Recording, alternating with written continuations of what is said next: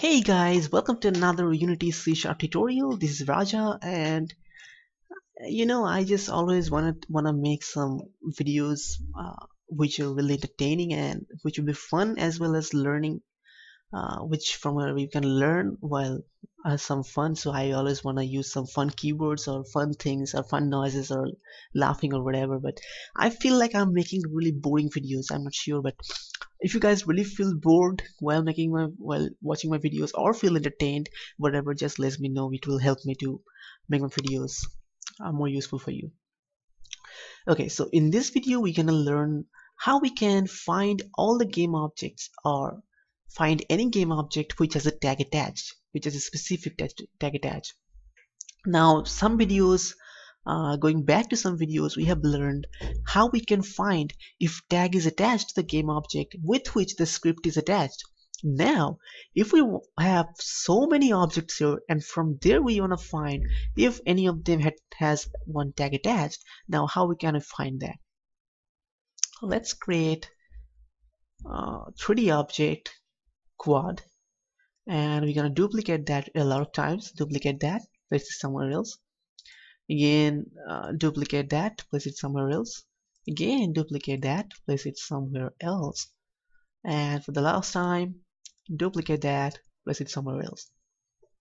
Now suppose we have so many objects. Now from this game objects we're going to find suppose a game object which has a specific tag attached. Now how can we do that among all these objects? That's what we're going to learn in this video so from here suppose I wanna select this object and create a new tag.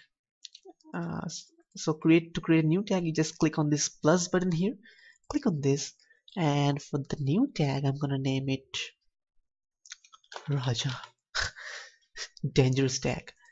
So now uh, again we're gonna select this game object and from tag we're gonna select Raja. So now the tag Raja is attached to this game object now we have a script attached we have a script attached to this game object.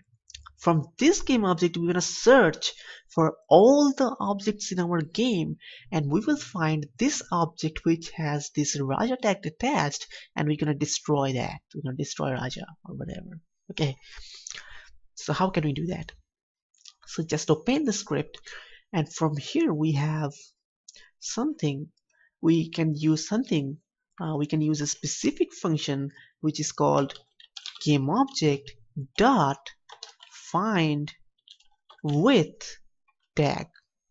So this function helps us to find a game object which has a specific tag attached with it.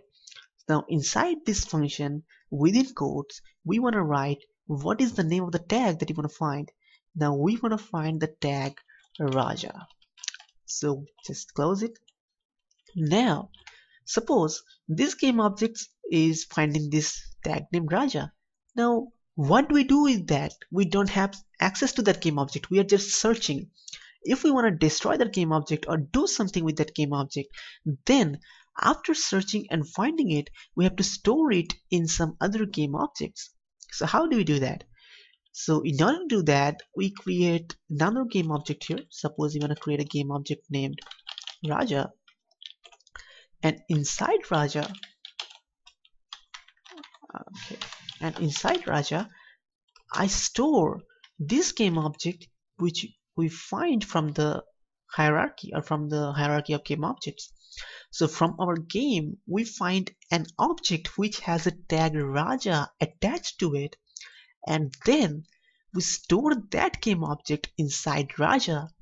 And finally, we want to destroy Raja. Okay? So now what happens is, now it finds for the game object which is a tag attached Raja, then it finds that and then it destroys that. Okay? So if I go ahead and now remember this is the keyword which has a Raja tag attached to it. So this is gonna get destroyed. Now if I run this game, three, two, one, go. As you can see, this game object got destroyed. So this is how from uh, from our whole game, from the hierarchy of all the game objects, we can find a particular game object which a particular tag attached. this is gonna be very very useful while doing a lot of tasks so I hope you guys enjoyed this video and learned something. Thank you very very much for sticking with me. Thank you very much for supporting me and have a great day. In the next video we'll learn how we can find a lot of game objects with the same tag attached and we can destroy a lot of them. Okay? So see you in the next video